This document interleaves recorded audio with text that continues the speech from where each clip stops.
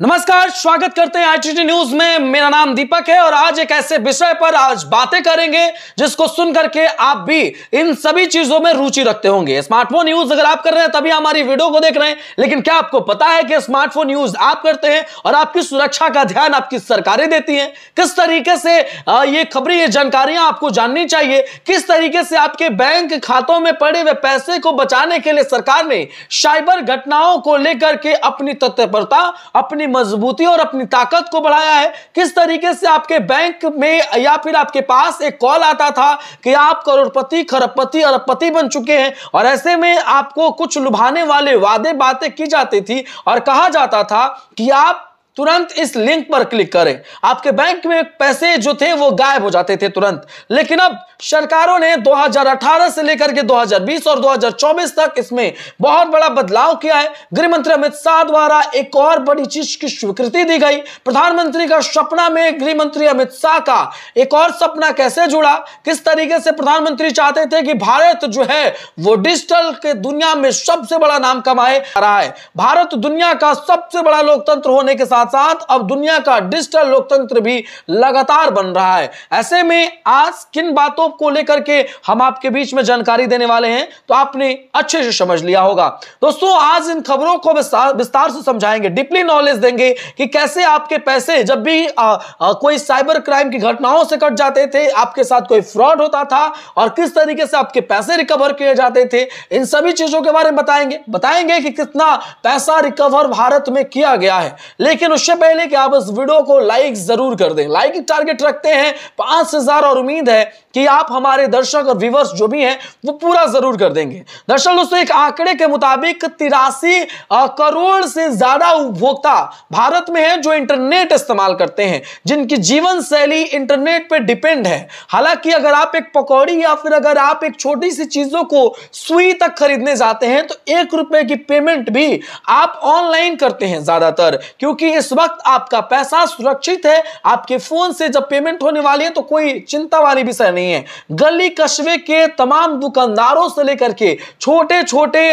उद्योगपति और छोटे छोटे लोगों ने भी फ़ोन पे का यूज़ करना शुरू कर दिया डिजिटल पेमेंट लेना शुरू कर दिया, ताकि उनके रोज़गार और उनके चीज़ों में वृद्धि आए। लेकिन इसकी सुरक्षा के ध्यान हमारी सरकारों ने दिया था। और इसके साथ आपको एक विशेष तौर पर बड़ी जानकारी बताते हैं। दरअसल भारत में साइबर घटनाओं को रोकने के लिए जिस तरीके से सरकार साइबर घटनाओं को रोकने के लिए 2018 में आई फोर सी को लाती है हालाँकि इसे स्वीकृति जो है वो दी जाती है 10 जनवरी 2020 में। गृह मंत्री इसे अपना हरा झंडी दिखा करके कहीं ना कहीं स्वीकृति देते हैं। उम्मीद रहती है कि बहुत सारी चीज़ें बदलेगी। भारत की आ, एक बहुत बड़ी पहचान इससे बदलेगी और धीरे धीरे उनके मन मुताबिक चीज़ें बदलती हुई चली जाती है। आई फोर सी के तहत जो है, पूरे भारत में 1200 करोड़ रुपए से अधिक बचाया गया है, इसे लाया गया है कहीं ना कहीं, और इसके साथ ही साथ लगभग पाँच लाख से ज़्यादा शिकायतों का निपटारा किया गया है। क्या आपको पता है कि पाँच लाख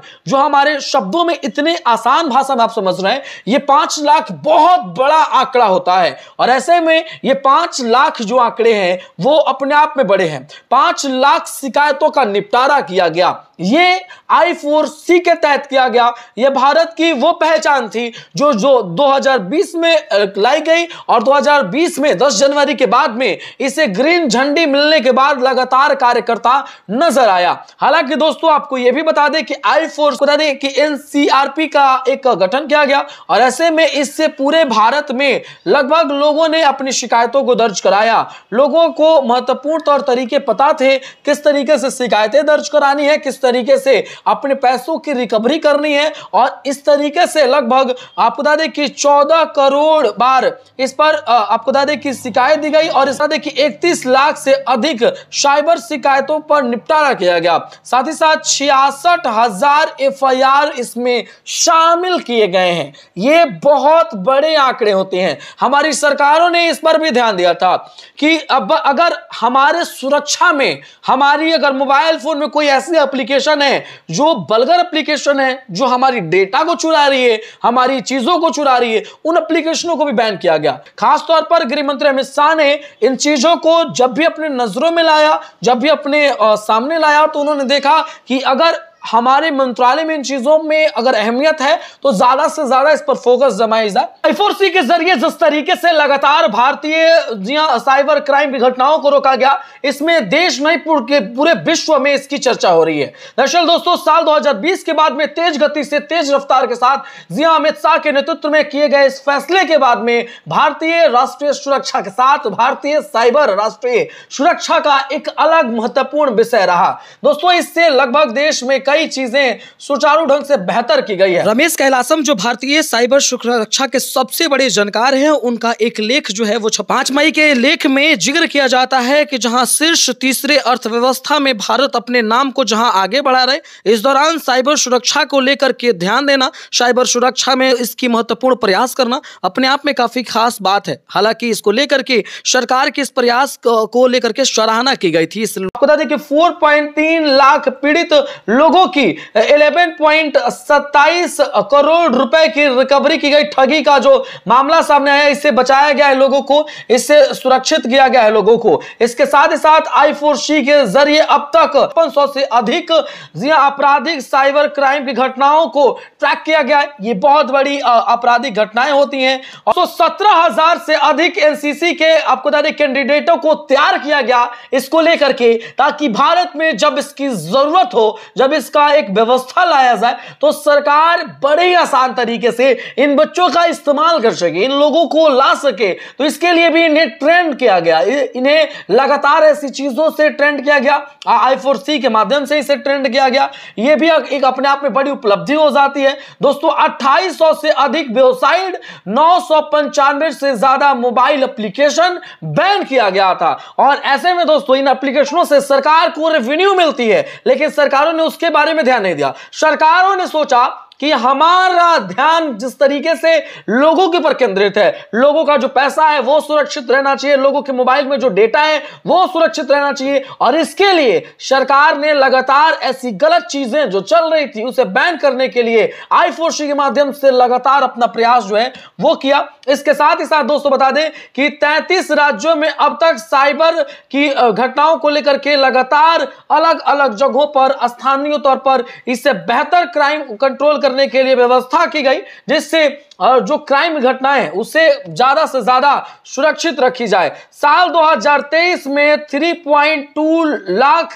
से अधिक सीम आपके सीम जो है, वो बंद किए गए लेकिन इससे साथ ही साथ दोस्तों, आपको बता दें कि लगभग उनचास हज़ार ई e को ब्लॉक किया गया है। या आपको बता दें, ये भी अपने आप में एक बहुत बड़ा और जो कहीं ना कहीं शैली है, वो सामने आया है। साथ ही साथ 2023 में अब तक लाखों की संख्या में ऐसी चीज़ें जो है वो सामने आई थी जिससे रोकने का प्रयास किया गया। दोस्तों, ये थी देश की ऐसी घटनाएँ, ऐसा साइबर ठगी जिसको लेकर के हमारी केंद्र सरकार, हमारे गृह मंत्री अमित शाह और इसके साथ प्रधानमंत्री श्री नरेंद्र मोदी जी द्वारा लगातार ऐसे प्रयासों को किया गया, जिससे आज हमारा देश डिजिटल तौर तरीकों से सुरक्षित है और ऐसे में अब सुरक्षा के दृष्टिकोण से इसे और भी सुरक्षित करने का प्रयास किया जा रहा है। कई सारे देश हैं जहाँ साइबर की घटनाएँ हो जाने के बाद में उनके पास सिस्टम नहीं रहता, उपलब्धियाँ नहीं रहती। लेकिन भारत के पास ऐसी उपलब्धियाँ हैं। भारत ने ऐसी चीज़ों को ट्रेंड किया है, जिसके बाद में इसकी हम गुणगान या बातों को कह रहे हैं। फ़िलहाल आप क्या सोचते हैं इस बारे में कॉमेंट में लिख करके ज़रूर बताइएगा। इस वीडियो को देखने के लिए आपका बहुत बहुत धन्यवाद। जय हिंद, वंदे मातृ